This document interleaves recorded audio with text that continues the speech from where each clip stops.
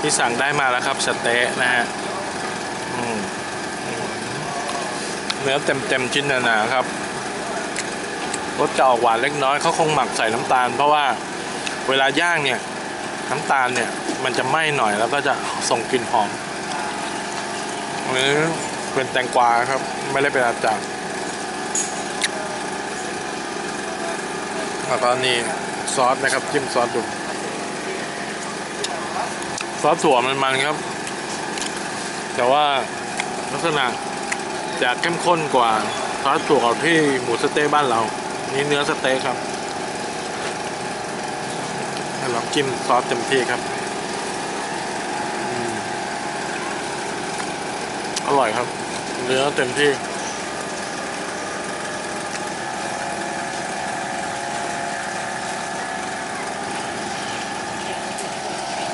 สั่งไปในห้าริงกิต ตอนนี้ก็สี่สิบกว่าบาทอืมอร่อย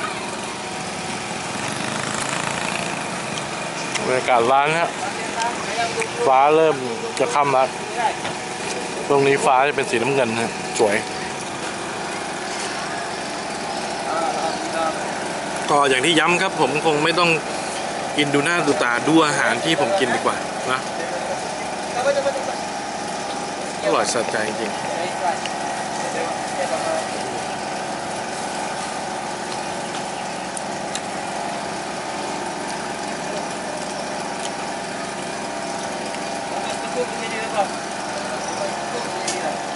ก็เวลาเดินทางมาประเทศเอเชียนะครับ ประสบการณ์อาหารการกินนี้เป็นอะไรที่น่าสนใจ ฝรั่งบางคนเนี่ยเขามาจากยุโรปมาจากอเมริกาเพื่อ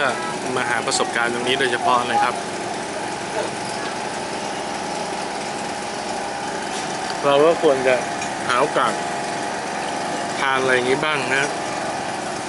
มาถึงก็ต้องลองครับ ถ้าไม่ทานเนื้อก็มีสะเต๊ะไก่นะครับ ปิ้งกันดูน่าอร่อยเหมือนกันนะฮะก็ อ๋อเป็นประโยชน์นะครับสะเต๊ะ daging นะครับสะเต๊ะ daging ก็คือเนื้อสะเต๊ะนะครับนะฮะจากประเทศมาเลเซียครับ แล้วพบกันใหม่กับช anel ฟิลไทยใน YouTube ครับ สวัสดีครับ